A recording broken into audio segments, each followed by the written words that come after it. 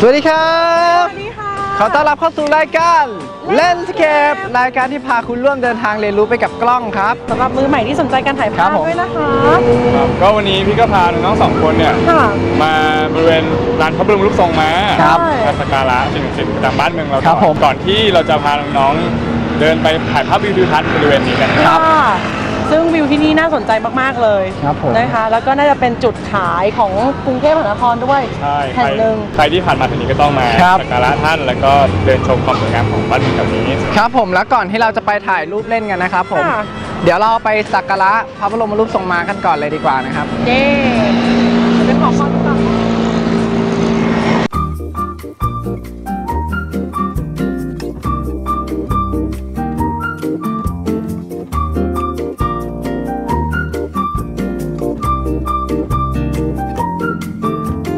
อเคครับ ก็ตอนนี้เนี่ยพี่ก็พาน้องๆสองคนมาที่หน้าพระที่นั่งอนันตสมาคม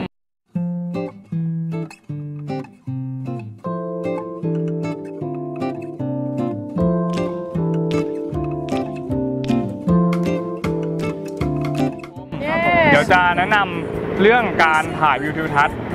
อีกอืมอีกตอนหนึ่งครับค่ะผมโดยในตอนนี้เนี่ยพี่จะแนะนำให้น้องรู้จักการใช้เส้นนำสายตา อืมการสร้างกรอบภาพ ค่ะเพื่อทำให้อ่าภาพวิวทิวทัศน์เนี่ยดูมีอะไรมากขึ้นใช่ดูน่าสนใจมากขึ้นอืมเรามาเริ่มกันเลยครับผมแดดค่ะ ยามบ่ายแบบนี้ ความไวแสงหรือ ISO เนี่ยใช้อืมต่ำสุดไปเลย อันนี้พี่ใช้เป็น 100 นะครับผม ค่ะ ส่วนรูรับแสงใช้แคบๆ เพราะว่าแดดค่อนข้างแรง เราจะได้เห็นตึกชัดทั้งตึก แรงจริงค่ะพี่ใช่ ดำเพราะแล้วเขาไม่อยู่อะ ก็พี่ตั้งไว้ที่ อืม13 ที่เหลือก็ใช้ speed shutter ค่ะเป็นตัวควบคุมแสงค่ะ นะฮะแต่ว่าประเด็นสำคัญของวันนี้พี่จะให้น้องลองใช้ช่วงที่กว้างที่สุดของเลนส์อืมซึ่งเลนส์นี้ก็คือ 24มิลลิเมตรครับผมค่ะเวลาน้องวาง frame เนี่ยอาจจะใช้กฎที่เราเรียนมา เช่นกฎ3ส่วน หรือว่ากฎสมมาตรทำให้ภาพน่าสนใจ แต่ว่าถ้าเกิดน้องๆไปเจอทางเดินที่เข้าหาตัวตึก ก็อาจจะใช้ทางเดินเนี่ยเป็นเส้นนำสายตาเข้าไปสู่ตึกได้ อื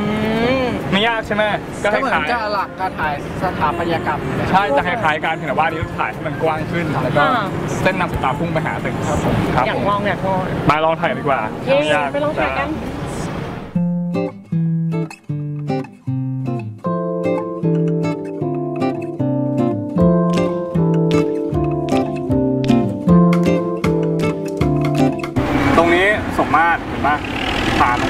ซ้ายกับขวาเท่ากันมีนกอะเลยมีนกด้วย ถ้าถ่ายนกได้ติดเนี่ยแจ๋ว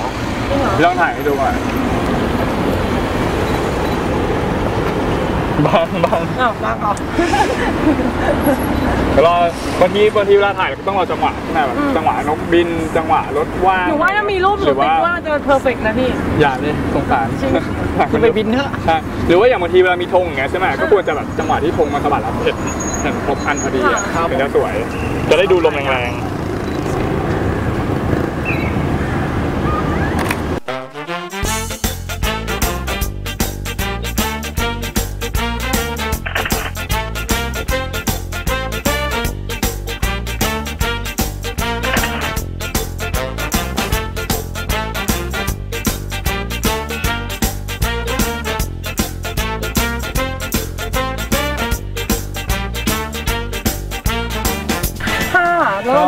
ด้านหลังพระที่นั่งนะคะๆทางนั่งตัดสมาคมครับผม ใช่ ก็เดี๋ยวตรงนี้เนี่ยพี่จะให้โจทย์น้องๆว่า ค่ะ ลองไป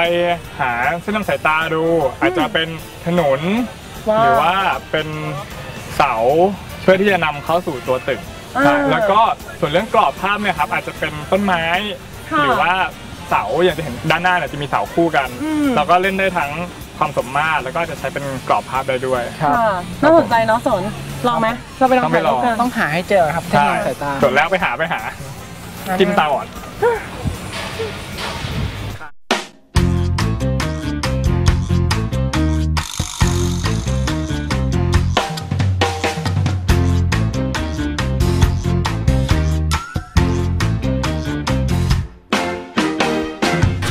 อนนี้เราก็เจอแล้วเส้นน้ำสายตาไหนตาไหนตาไหนตาไหนตาไหนตาไหนเฮ้ยครับผมเจ้าถนนนี่เองไหมคฮะรับผมก็ตรงนี้เนี่ยเป็นเส้นสายตาเพราะว่าเรามีถนนถนนพุ่งเข้าไปทาหนุนถนนที่ทาอะไรวะ จะเป็นถนนแล้วเป็นถนนนะครับ พุ่งเข้าไปหาตัวพระตัวพระราชวังครับครับผม อ่าก็ทำให้พระราชวังเนี่ยดูเด่นขึ้นโชว์เอาโชว์เลยดีกว่านะคนไม่เอาออกมาเนี่ยออกมาเนี่ยออกมาเนี่ยนี่ว่านะ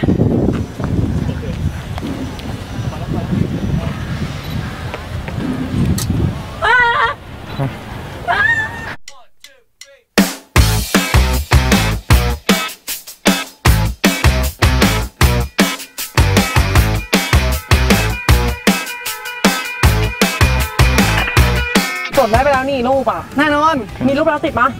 ไม่มีอะลบหมดแล้วเหรอฮ้ยไม่เอาทำเราเราย่งไม่งี้ยเอาชัตเตอร์กอดติดวิญญาณไม่เอาเลยอยากลงเฟซ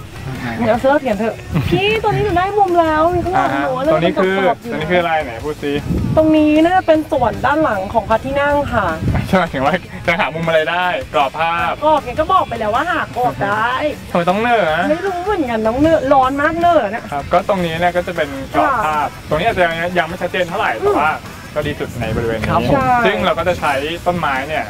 เป็นกรอบภาพแทนที่จะเป็นตึกแล้วก็เป็นฟ้าโล่งๆใช่ไหมแล้วก็จะมีต้นไม้ด้านซ้ายต้นไม้ด้านขวาแล้วก็โค้งมาจุดนี้หนูหาเองด้วย เพราะว่ามีความรู้สึกว่าหาเองเลยเหมือนสำนึกบ้านเกิดบาอะงบังเอิญเจอเพราะมาหลบร่มครั้มางกที่เลยแล้วครั้งที่แล้วหนูไปพจมานไงอ๋อนี่อยู่ที่วิมานบ้านไทรทองนะฮะนี่คือสถานโอ้พอเถอะพี่ถ่ายเถอะถ่ายถ่ายดีกว่าถ่ายรูป อะก่อนเดี๋ยวเอาเขาไปเก็บก่อนนะไม่เอาใช่ค่ะ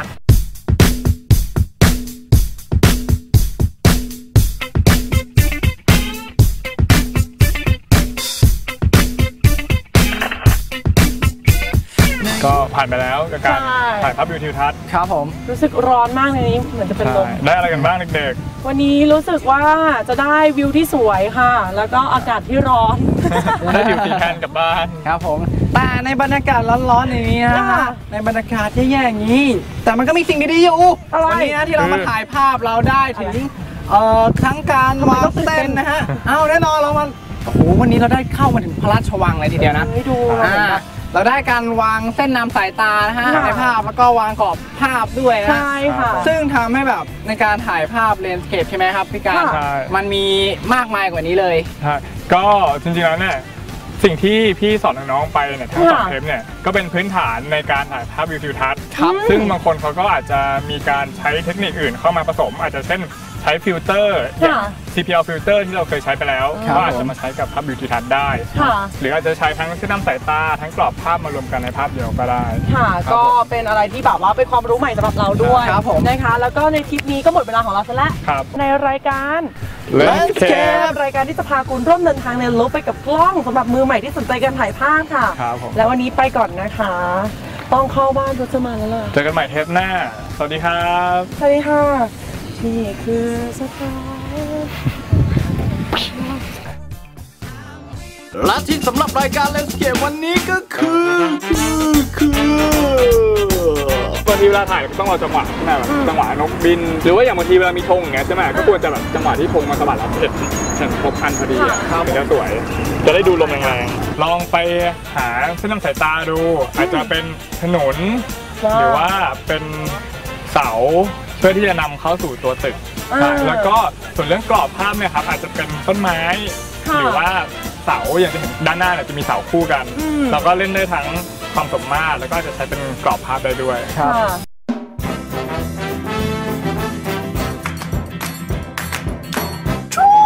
Knowledge Scope by Landscape สวัสดีค่ะกลับมาพบกับแนทอีกครั้งหนึ่งอีกครั้งหนึ่งอย่าเพิ่งเบื่อหน้ากันนะคะ กับ Knowledge Scope นะคะ วันนี้ อันนี้คืออะไรอันนี้คืออะไรอันนี้คืออะไร เอากล้องมาทำไมนะคะ แนทจะมาทำความสะอาดกล้องให้ดู แนทจะใช้อันนี้นะคะทำมุมด้านใน แต่อันนี้มีประโยชน์อีกอย่างหนึ่งนอกจากทำความสะอาดคือฟินมาก อย่างแรกคือเราจะต้องถอดเลนส์ออกมานะคะ อย่างนี้ออกมา ด้านในตรงนี้นะคะเราจะไม่นิยมให้ออกมาเห็นพบแสงหรือว่าเปิดไว้นานๆอย่างนี้นะคะ ไม่ดีเพราะว่าฝุ่นมันเข้าไปเนี่ยก็เวลาเราถ่ายอะไรมาติดหมดเลยนะคะ แยบแยบไปเลย ส่วนใหญ่ด้านในเนี่ยจะไม่ทำเองจะเข้าศูนย์ตลอด อันนี้นะคะไหนก็จะใช้เนี่ยค่ะ เป่าลม เป่าลมด้านในนะคะ ให้แบบพวกฝุ่นเฟิร์นอะไรอย่างเงี้ยมันกระจายออกมา โดยเฉพาะตรงเซนเซอร์นะคะ แต่เราก็ต้องระวังด้วยนะคะว่าสิ่งตอนที่เราอยู่เนี่ยจะเป็นที่ที่ไม่มีฝุ่น ไม่มีน้ำไม่ฝนไม่ตก ไม่มีละอองอะไรเลยอะไรเงี้ยค่ะ ก็นั่งทำความสะอาดไปพอเราเช็ดเสร็จต้องรีบปิดนะคะโดยที่เนี่ยก็จะใช้เลนส์ตัวเดิมหน้ารับปิดลงไป ต่อมาค่ะเมื่อเราใช้ตัวเป่าลมอันนี้เสร็จแล้วแนทก็จะชอบใช้ cotton bud นะคะ ในการทำความสะอาดช่วงเลนส์ ช่วงตรงนี้เนี่ยจะเป็นช่วงที่สกปรกมากเพราะเนี่ยจะแบบ hardcore มากในการแบบหมุนหมุนหมุนหมุนหมุนแล้วมันก็จะชอบมีอะไรติดติดติดติดออกมาเดี๋ยวทำความสะอาดไป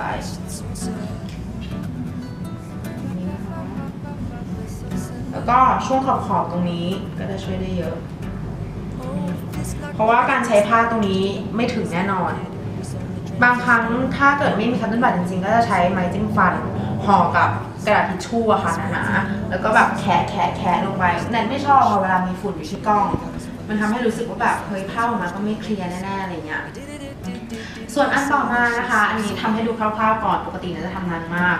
ตอนอันต่อมาก็จะเป็นผ้าค่ะ ซึ่งผ้าเนี่ยก็จะมีหลายชนิด จะมีทั้งแบบพื้นแบบนี้ที่นัดใช้นะคะ กับพื้นแบบที่เป็นมันมันมันมันบ้างที่แบบอยู่ในร้านกล้องเลยอันนี้นะจะใช้สำหรับ ส่วนใหญ่เขาจะใช้สำหรับเช็ดหน้าคอมอะไรเงี้ยก็ใช้ได้ หน้าจอ LCD อะไรอย่างงี้นะคะ อันนี้เนี่ยมันจะเป็นผ้าสำหรับเก็บฝุ่น เพราะฉะนั้นเราจะต้องเปลี่ยนบ่อยๆหน่อยเพราะว่าแบบไปไหนก็ฝุ่นเนี่ยเมื่อกี้แนทวางอยู่ตรงเนี้ยมันก็แบบเก็บฝุ่นขึ้นมาแล้ว เพราะฉะนั้นแนทก็ต้องใช้ด้านที่แบบไม่ได้วางวันไหนจะต้องเปลี่ยนผ้าแล้วอะไรเงี้ย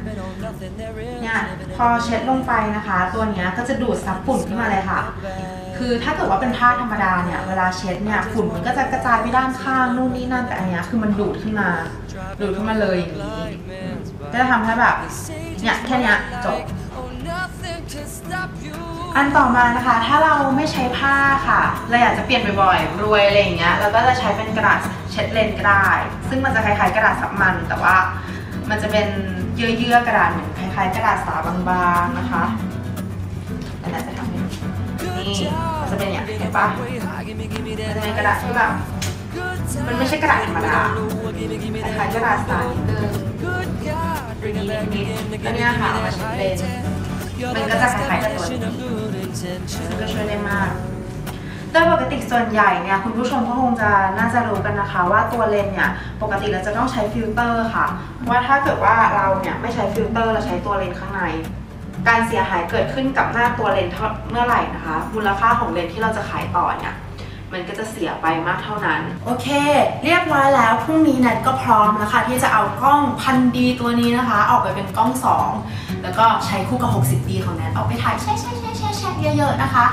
อันนี้เป็นแค่พื้นฐานนะคะ ถ้าอยากได้แบบ hardcore กว่านี้แนะนำไปศูนย์ดีกว่า ไม่งั้นเรายิ่งทำข้างในเนี่ยจะยิ่งเละนะคะ